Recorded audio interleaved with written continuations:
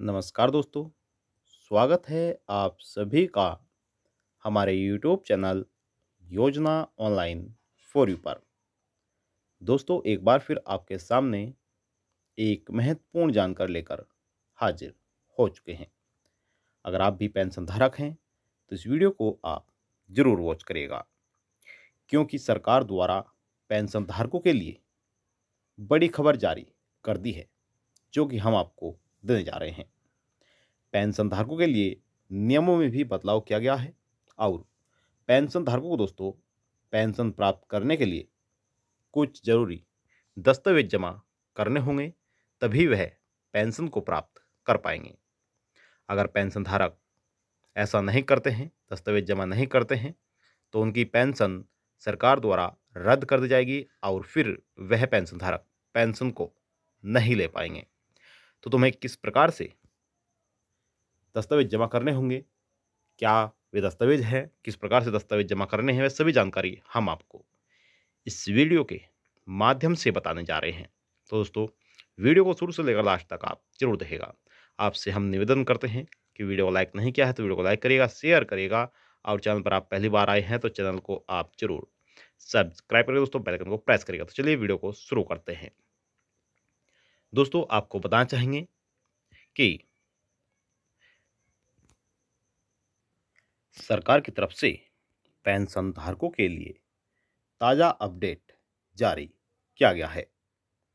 दोस्तों, आपकी जानकारी के लिए बता दें कि हर एक राज्य सरकार द्वारा पेंशन धारकों के लिए अलग अलग नियम बनाए गए हैं और अलग अलग स्तर पर ही पेंशन सरकार की तरफ़ से दी जाती है।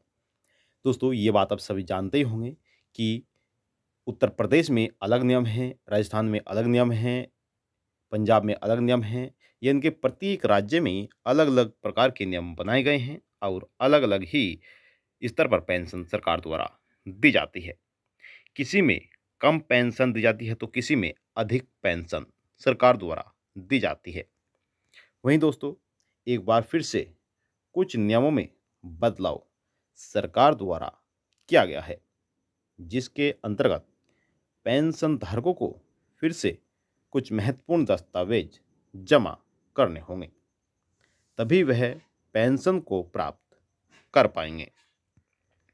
क्योंकि काफ़ी ऐसे अपात्र लोग हैं जो पेंशन प्राप्त कर रहे हैं। वहीं पात्र पेंशन धारक होते हुए भी कुछ लोगों तक पेंशन नहीं पहुँच पा रही है। यानी कि दोस्तों, जो पात्र पेंशन धारक हैं, उन तक यह लाभ नहीं पहुँच पा रहा है और जो अपात्र व्यक्ति हैं, जो पेंशन के लायक नहीं हैं, वह भी पेंशन को ले रहे हैं। तो इसी को इसी स्थिति को देखते हुए सरकार द्वारा यह अहम कदम उठाए गए हैं। दोस्तों, चाहे आप की पेंशन वर्धावस्था हो, दिव्यांग हो या फिर विधवा पेंशन हो, यानी कि तीनों पेंशनों में से कोई भी पेंशन अगर पेंशन धारक की है तो आप इस वीडियो को देखते रहिएगा। दोस्तों, सभी पेंशन धारकों को यह कार्य करना अनिवार्य है, तभी सरकार पात्र व्यक्तियों तक पेंशन पहुँचा पाएगी। आपने कौन सी पेंशन बनवाई हुई है, या फिर आपके परिवार में कोई पेंशन धारक है तो वह किस प्रकार की पेंशन प्राप्त कर रहे हैं, वह आप हमें कमेंट बॉक्स में जाकर ज़रूर बताइएगा। यानी कि दिव्यांग पेंशन है, वर्धावस्था है या फिर विधवा है, आप हमें कमेंट बॉक्स में जाकर ज़रूर बताइएगा। वहीं दोस्तों, मैं आपको बताना चाहूँगा कि आपको क्या कार्य करने होंगे। तो दोस्तों, हाल ही में सरकार ने प्रत्येक वर्धावस्था पेंशन धारकों को केवाईसी करना अनिवार्य कर दिया है।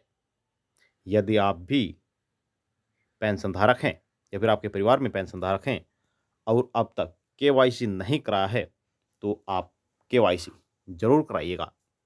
या फिर दोस्तों, किसी अन्य प्रकार की पेंशन भी अगर आप लेते हैं, तब भी आपको के करना अनिवार्य है। जी हाँ दोस्तों, यही कार्य है जो आपको करना है, लेकिन किस प्रकार से करना है, वह भी हम आपको बताएँगे।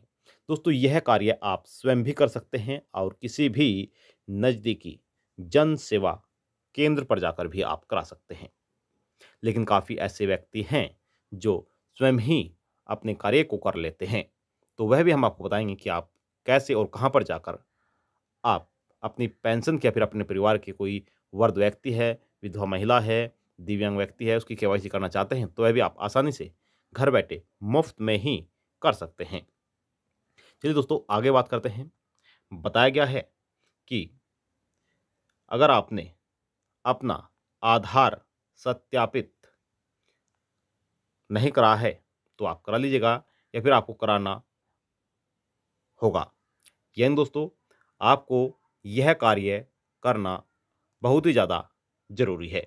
इसके लिए आप स्वयं भी अपने मोबाइल फ़ोन से, लैपटॉप से, के को आसानी से दोस्तों कर सकते हैं। यानी कि आपको बताना चाहेंगे।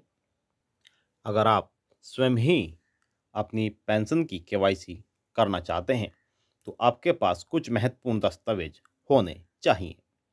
दोस्तों, काफ़ी ऐसे पेंशन धारक हैं जिनकी पेंशन रुकी हुई है तो वह भी वह प्राप्त आसानी से कर सकते हैं।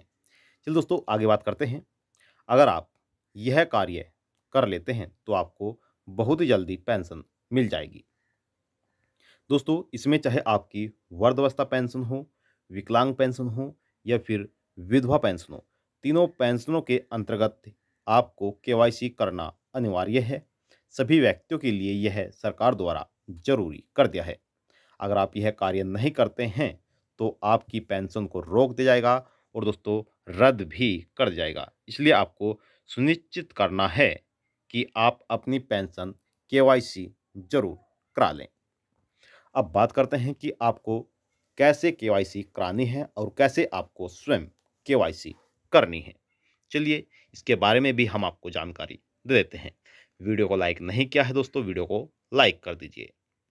तो दोस्तों पेंशन धारकों को के कराने के लिए किसी भी नज़दीकी जन सेवा केंद्र पर जाना होगा। वहाँ पर अपनी के को कंप्लीट कर सकते हैं। यानी कि अगर आप स्वयं के करना नहीं जानते हैं तो आप किसी भी नज़दीकी जन सेवा केंद्र पर जाकर के करा सकते हैं और पुनः अपनी पेंशन को शुरू कर सकते हैं। या फिर दोस्तों, आप अपने पेंशन धारक जिनके अपनी पेंशन को स्वयं ही के करना चाहते हैं तो आप वह आसानी से कर सकते हैं। आपके पास मोबाइल या फिर लैपटॉप होना चाहिए, जिससे कि आप स्वयं करना चाहते हैं। मोबाइल है तो मोबाइल से भी आप कर सकते हैं। दोस्तों, आसानी से आपको ऑफिशियल वेबसाइट पर जाना होगा। यानी कि जो पेंशन धारकों की जो ऑफिशियल वेबसाइट है, एकीकृत सामाजिक पोर्टल। तो दोस्तों, आपको उस पर जाना है।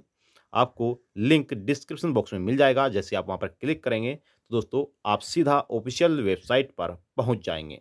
और वहाँ से दोस्तों, आप आसानी से अपनी के को कंप्लीट कर सकते हैं। अगर आपको करना नहीं आता है तो आप कमेंट बॉक्स में जाकर हमें यह भी लिख दीजिएगा। हम आपके सामने नेक्स्ट वीडियो लेकर हाजिर होंगे कि आप कैसे ई के को कर सकते हैं। लाइव प्रोसेस आपको बताएँगे। लेकिन ध्यान रहे कि के करने के लिए आपके पास आधार कार्ड होना अनिवार्य है। साथ ही आधार कार्ड से पेंशन धारक का पर्सनल मोबाइल नंबर भी लिंक होना चाहिए। क्योंकि जब आप के करते हैं तो जो भी आधार कार्ड से आपका मोबाइल नंबर लिंक होगा, उस पर वन टाइम पासवर्ड आएगा, या फिर आप ओ टी कह सकते हैं। ओटीपी आएगा और वह ओटीपी दोस्तों आपको अपने फॉर्म में फिलअप करना होता है, तभी आपकी के कंप्लीट हो पाएगी और आपकी आगे जो पेंशन है, वह भी शुरू हो पाएगी। दोस्तों, मैं आपको बताना चाहूँगा कि काफ़ी ऐसे पेंशन धारक हैं, जिनकी पेंशन सरकार द्वारा रोकी गई है। अगर आप भी उन पेंशन धारकों में से हैं तो हमें कमेंट बॉक्स में जाकर कमेंट ज़रूर करेगा कि आपकी पेंशन कितनी रुकी हुई है।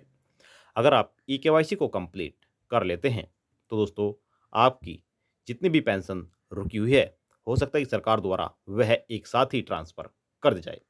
क्योंकि दोस्तों, ई के के ज़रिए सरकार यह पेंशन ट्रांसफ़र करेगी क्योंकि उससे पता चलता है कि कौन व्यक्ति पात्र है और कौन व्यक्ति अपात्र है।